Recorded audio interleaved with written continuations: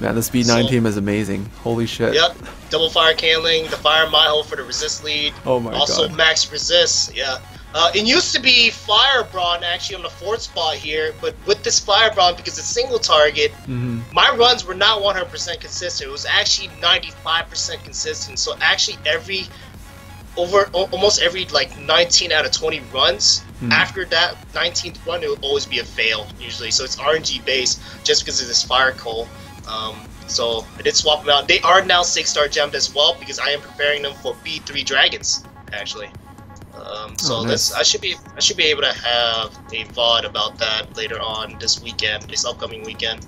Um, hopefully it'll become a success, but I am planning on using this for Astromon. Again, Fire Nat 2, um, only available through the Shady Shop, so definitely keep an eye out for those. Um, and then farmable, obviously, because Water Katine farmable in, I believe, uh, let's see, Magma Crags, whatever that, Seabed Caves, and Yeah. I think there's one more. The oh, and where the water sardines, I believe. the uh, there's three maps that have the Cotines. The Aria Lake has the wood ones. Um, Yeah. Seabed and Magma Crags have water ones. All right. Yep. Easy to find. Uh, And I think you're you're you're like showing the like extreme here, like where it's like completely 100% farmable. Because I think 90% of the players won't have to get to this point. Like they'll probably Yeah. have like e- maybe a wild thing or you know like a fire wild thing, maybe a fire. I don't know some. What's a strong fire nat five? Like I have no idea. Fire Sanzang is now a passive healer, so you don't even need a Fire Katine, you got a Fire Sanzang, which I have here. I haven't even tested her out yet, so I don't feel like it now. it, it- it would probably work. You know, she's she's just that good. Yeah. She's amazing. Fire Sanzang and Water Burst, their difference in healing is not that big. It's probably like a whole 500 HP to a 1,000, maybe 2,000. Still Mhm. not that big of a difference, in my opinion. yeah.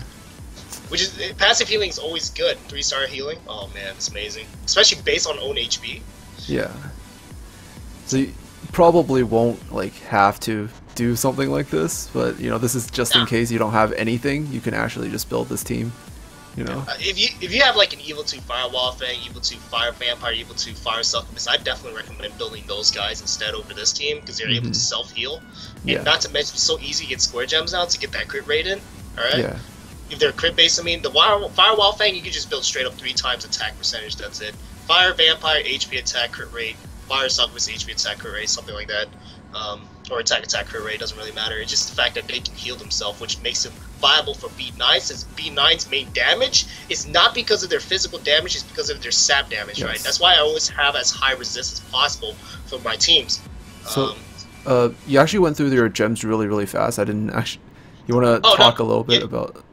Can go over them now. I did do like I did upgrade them, like I said, but I did already test them out with plus 12 four star conviction gems. Yes. Um, my Fire Horn is actually built HP percentage, attack attack, um, four star wise. She's now HP attack still, attack attack still. Um, I'm actually trying to replace this four star with another six star Yes. attack gem once I get the chance. Um, let's see here. My Fire Katine, my Fire Katine was actually built. So she's still on four star gems actually. Um, I built her HP, HP recovery. You can actually build her HP recovery, recovery as well um, to get that extra orb in, um, specific for a healer. But she is my highest resist, like always. Um, it should be because you don't want her to get sapped. Yeah. The only thing that's dangerous to a fire contain would be the retribution, and that's about it if you're building HP recovery recovery. So that's the only thing you really want to watch out for. But the higher the resist, the less sap that this entire team will get. So that's why I really recommend building a fire Maho. If you can't, if you cannot build a fire Maho, then you want to use a fire brawn lead, um, which I don't have unfortunately because of their HP percent increase. Yeah. And you definitely want to build a Fire Mustang a little bit tankier. So probably HP, HP attack, or HP defense attack. Normally, I wouldn't recommend defense for this um, Jolin specifically because you already have 50% damage negation because of the elemental counter, right? yes. So you already have that. So defense is also useless against Sap, primarily because Sap just chews through defense. Um, and if you're just using a defense gem instead of HP, um, right? So you have a larger danger towards uh, towards retribution, which deals a flat damage, which is up to 8,000, I believe. 8,000 for wood golems. I know it's 10,000 for dark golems. So probably 8,000 for um, B9 um, in terms of flat damage towards your one Astromon. Yeah, I completely forgot that this boss has retribution. Um, Mhm. it- It's basically a random debuff. Uh, for those of you that don't know, that does like uh, it basically just deals like true damage to your your uh, random unit Yep. after Which a is turn. basically every fifth uh, Astromon that attacks it um, Mhm. gets it. That's what I think. All right. So my fire caling, they're both built the same HP attack attack. You want to try to get as much DPS as possible if you want to get through um, uh, wood uh, wood golems. I tur- yeah, I currently have them built HP attack attacks and six star, but I definitely built them as four star gem as well. It's HP attack attack, it doesn't just uh, changes. So I'm gonna go ahead and go in. All right. You can actually use a fire caling lead too, but um, like I said, having higher the re- the higher the resist, the longer the survivability towards the golem. The wave in this in the wave uh, for B9 golems are extremely easy to get through. They do Yes. absolutely no damage. Again, they also sap, but their sap is not as worse compared to what the golem has to offer. Because the golem, I've seen um, in the past Yeah. where an Astromon had eight sap, stack of sap on him. I was like, this guy's Yeah. done. oh, good times, good times. I I think at this point, um, you know, since since you're already at the point where you're able to farm B8 and B7, you're kind of expected that you could have access to six star gems. Like you don't have to limit yourself to using full only four star. Yeah, No, at this don't point. have to use something. I just want to prove to people that you are able to do it this way if you really want to. I mean, Mm-hmm. th- like this is just show you like the midpoint, and then again, this is like also like once you get to B nine, B 9 is also team combo dependent, and that's Yes. once you get to B ten as well. So team combo does play a role to how your team operates. And um, Golems, for example, uh, let's see here. I did it on rank. I, I on my last alt, I tried to go for B nine. I completely put like I put a Fire Odin in there. I put some random Astromons in there, and they com- it Mhm. failed. It failed with six star gems. All right. So this this this dungeon here is more towards team uh, combo, um, team combo requirement basically. Um, if you get the right team combo in, then you're fine. I definitely highly suggest you to build like double fire caling if you don't have like any of those sexy little nat fours or nat fives Astromons yet. Don't got you know. Um, fire caling is a farmable in Lunar Valley. Yeah, Yes. Lunar Valley, and definitely farm it on normal if you can. It- Believe me, these guys pop out like flies during exotic events. Oh yeah, yeah, that is true. All right, this is actually Alright, looking pretty fast. Oh yeah, uh, I believe it's like three minutes now. Three minutes to four minutes average. I mean, still pretty slow. Then again, you can want very very fast run, level sixties. Um, what's uh, oh yeah, you, for B nine specifically, if you really want extremely fast run, 4 attackers, no healers, level 60, six star gems, completely jumped out as well. So that's your fastest run you can get. Also, if you can actually put one fire Astromon there with an SB Siphon, SB Siphon always speeds up a run no matter what, usually. As your little end game to, I guess, Yeah. end game type to get to um, like one minute, one minute, 30 seconds, something like that. I mean, on my Nat 6 account, I'm only able to clear it in two minutes or less, around 1 minute 30 to 2 minutes average at the moment.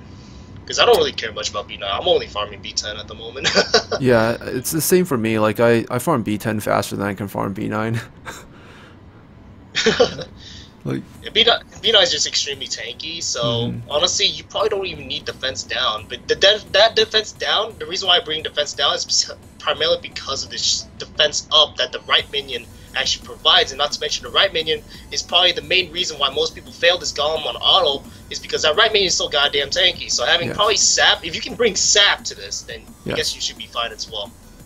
Definitely sap because again, Wood Golem is HP consistent, extremely uh, developed around the HP part. So, I like, yeah, you don't really need to bring defense break, but I just like to have that defense break there, just negate the defense up. But you know what? My my entire team just completely obliterated that right minion. So looking good so far. Yeah.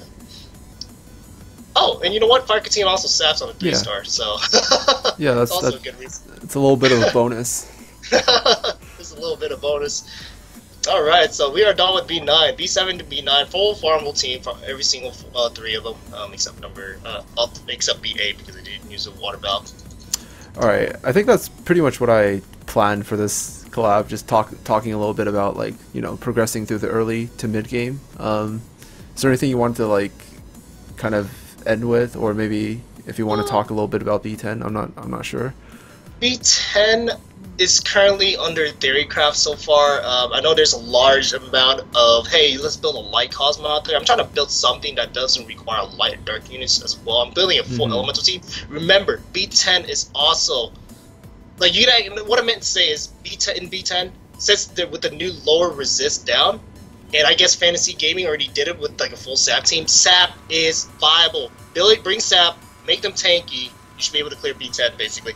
What so what I'm theory crafting for uh, for Farmable so far would be a Water Sign, a Water Maiho, and a Water Mona so far. With my fourth probably being another Water Mona or another Water Healer, probably a Water Luma or something like that. It's just for me to test around a bit. I'm trying to build an effective B10 team.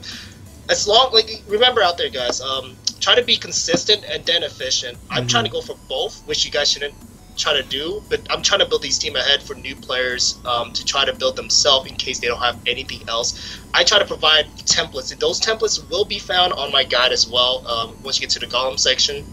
Um, so let's hear. Where's my water maho at? Yeah, she should be almost evil three. I almost have enough. If I remember correctly, I do have enough to make her evil three actually. So yeah, that's about it. All right. Um, I think I think the the Miho is actually a pretty good idea. That you can actually skill them up as well. It's, it's Yeah, cheaper. definitely. It's cheaper to skill up them. Uh, like the the three star ones are cheaper to skill up.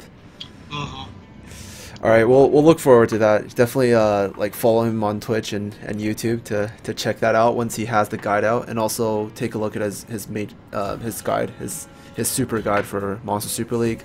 I'll have everything in the description. Um, you know, I'll I'll link everything, and yeah, thank thank you so much for for uh, doing this collab with me. No problem, man. Thank you so much for inviting me, bud. And it's a great time, and hopefully you have a great night's sleep because I know it's pretty late for you for doing this. I It's mean, it's fine. Um, different time zone. I, I think you you uh, you definitely do deserve a lot more viewers. Like you're you're super helpful for new newer players. You're like super nice, always willing to do those like reviews and everything. You know, when when people ask you and stuff. But yeah, that's I think that's pretty much it. So um, yeah, I'll see you guys. I'll see I'll see everyone uh, in the next video, and you can you guys can just go and check out uh, AznElite and his channel. And yeah, that's pretty much it. Thank you guys so much for watching. Peace out.